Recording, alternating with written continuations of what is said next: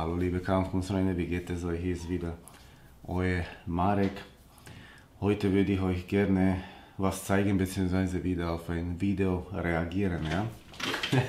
Das sind so typische zwei, wenn man das nennen kann, Alpha-Männchen, treffen aufeinander, die ziemlich großes Ego-Problem haben. Ich würde auch lieber, lieber würde ich sagen, nicht zwei Alpha-Männchen, eher dumm trifft an einen noch dümmeren, dumm und dümmer, ja? so wie in diesem Film. Ja? Nur die waren harmlos, diese zwei sind einfach nur bescheuert. Ja? Schaut euch einmal zuerst an, in Ruhe, was ich damit meine, ja? und dann würde ich gerne auch was dazu sagen.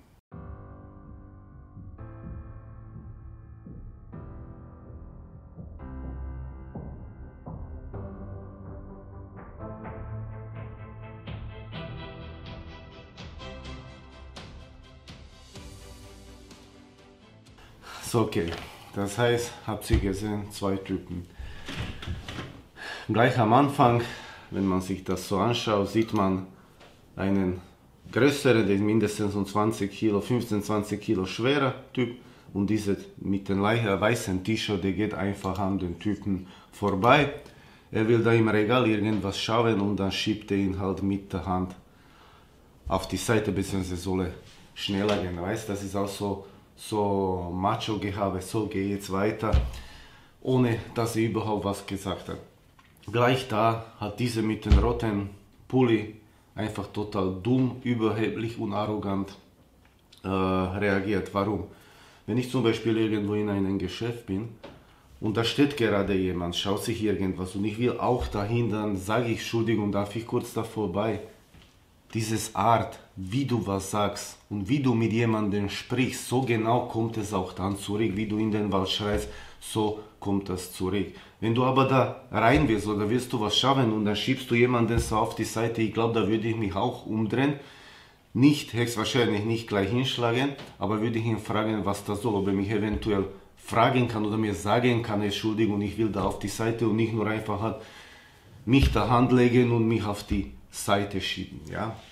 Jetzt wenn wir uns das weiter anschauen, ja, das heißt den, den weißen Töschel, ich glaube das ist irgendwo in Indien, so schauen sie aus, hat das nicht gefallen und hat genau dasselbe bei ihm gemacht. Was passiert dann, das sehen wir jetzt, noch bevor es zu dem Schlag bzw. zu dem Headbutt kommt, der steht einfach da, will ihn so quasi zur Rede stellen oder wie auch immer und dann hat er die Hände da oben. Wenn du schon sowas machst und du siehst, da ist eventuell irgendein aggressiver Typ vor dir, oder dann musst du immer die Hände oben haben, ja?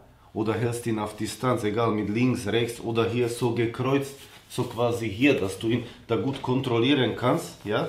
In diesem Winkel, diese Hand ist hinter den Nacken oder einfach vorher noch auf die Kontrolle. Und das machen viele auf der Straße, diesen Fehler, dass sie sich auf das einlassen und reden sich so quasi, da ist ein paar Zentimeter vor deinem Gesicht. Ist wahrscheinlich hatte noch nie einen Schlag oder Headbutt bekommen oder ist in dieser Distanz attackiert worden, weil gerade in dieser Distanz passieren die meisten Auseinandersetzungen auf der Straße. Da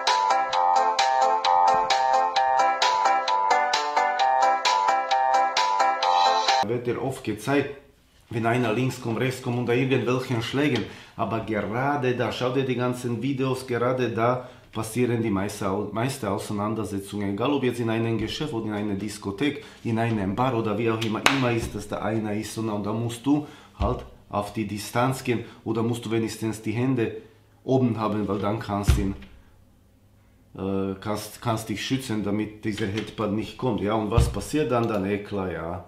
Headbutt, boom. Ich glaube, er hat ihn, er hat ihn da irgendwo erwischt und ja, jetzt ist er wie, jetzt fühlt er sich sicher wie so ein Gorilla-Männchen, der dann durch Dschungel geht und so, oh, ich es geschafft, einen 20 Kilo schwächeren runter zu, äh, runter zu kriegen oder ihn äh, kau zu schlagen. Ja, da diese Freundin kommt dann auch irgendwie und zieht ihn dann aus dem Geschäft raus.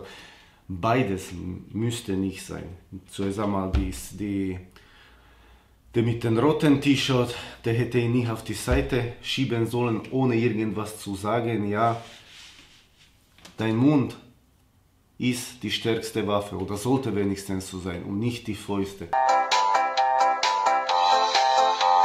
Und an diese andere hätte sich wenigstens dann denken sollen, ja, wenn das schon so ein Dumpfpaket ist oder wie auch immer, werde ich jetzt nicht hier riskieren, irgendeine Auseinandersetzung. Wenn er das unbedingt braucht und muss sein Ego aufpolieren, dann lasse ich ihn halt. Ja? Es gibt immer gewisse Grenzen, ja, selbstverständlich, wenn man dann diese Grenze überschreitet, dann muss man auch de dementsprechend reagieren.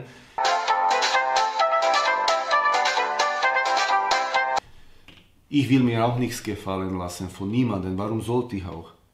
Ja, aber ich bin immer der Meinung, dass man dein Mundwerk sollte als erstes zum Einsatz, also dein Mundwerk sollte als erstes zum Einsatz kommen und erst dann die Fäuste, wenn es nicht anders geht. Da hat man einfach zwei Idioten gesehen, dumm und dümmer, ja, beide Alpha-Männchen, zumindest haben sie sich so gesehen, ich sehe da kein Alpha-Männchen, eher irgendwelche so Hosenscheißer, ja, der sich da wichtig machen will, der sieht, aha, ich bin eh 20 Kilo schwerer, jetzt zeige ich denen. Ob das genau dasselbe machen würde bei einem, der um Kopf größer ist und 20 Kilo schwerer als der, ja, glaube ich eher nicht. Passiert aber auch oft, dass man einen unterschätzt, einen, der viel kleiner ist und viel dünner und schmächtiger, aber weiß ja nicht, was, der typ, äh, was da wirklich dahinter steht. Und oft passiert der Gegenteil, dass der Große wird dann auseinandergenommen und nicht der Kleine. Aber leider, da siehst du, dass du einfach aufpassen musst heutzutage überall. Und das ist nicht nur in Indien, auch hier in Europa hast du immer irgendwelche, die so ego-getrieben, das sehe ich auch oft hier ihm nicht, wenn die so gehen, diese Bodybuilder, weißt du, so, so geht er, weißt und, und glaubt, er ist unzerstörbar, ja. Aber ja, ich lasse ihn das einfach. Solche schaue ich dann nicht mal an, weil, weil mich das dann nur aufregt, was sie von sich halten. Haben draußen ein Auto um 60, 70.000 und dann geht er auf die Tankstelle und, taugt, da, und tankte um 1000 Dinar. Das sind nicht einmal 10 Euro, weil mehr kann er sich nicht leisten. Aber er will Auto zeigen, wieder zeigen. Und ich kenne, glaub's mir, ich kenne so viele hier die nur nach außen scheinen, die sind irgendetwas und sagen, was die alles gemacht haben, was für Fighter die sind, wie viel Geld die haben. Diese Schale von außen, aber diese Schale, das ist eine ganz weiche Schale und drinnen ist nichts, drinnen ist leer, steckt nicht wirklich was dahinter. Aber ja, sollen es lassen. Ich wollte euch unbedingt zeigen, was auch passieren kann, vor was, auf was ihr aufpassen sollt. Vor allem, du kannst nicht ausweichen. Du hast ein Regal oder eine Wand oder bist in einem Bar, kannst nicht ausweichen. Da musst du ihn dann auf die Distanz halten. Dann kommt er mit dem Hepat nicht. Sollte er dir greifen und du hast die Hände oben und dann möchte den Headpad ausprobieren, dann kannst du mit Ellenbogen kommen, ja, oder mit Knie oder wie auch immer, ja. Aber auf keinen Fall gehst du zu irgendeinem, der zu dir aggressiv kommt und du hast die Hände hier und dann wartest du, bis er dich auseinander nimmt, ja. Da, das hat man gesehen, dass es selber noch nie in so einer Situation war. Es wahrscheinlich, dann hätte es nicht gemacht. Und diese andere, diese Alpha-Männchen, diese Affe da, der wird auch irgendwann seinen, an seinen Meister treffen. Ich wünsche euch alles, alles Liebe. Nicht vergessen, nur noch ein paar Tage gilt diese Aktion minus 50 Prozent. Ab Jena sind ganz andere Preise. Und mich, mich freut das wirklich, dass immer mehr Kampfsportler mir schreiben. Das heißt, das ist nicht für Anfänger gemacht. Jeder Kurs hat mehrere Stunden Wissen. Und vor allem auch Kampfsportler wollen was Neues erlernen, vor allem Messerkurs und so weiter, weil die sehen, dass ich mit, immer mit dem ganzen Körper richtig explosiv alle Sachen zeige und dann wollen sie auch was Neues erlernen. So, viel Spaß, bleibt gesund, pass auf euch auf, ciao, ciao.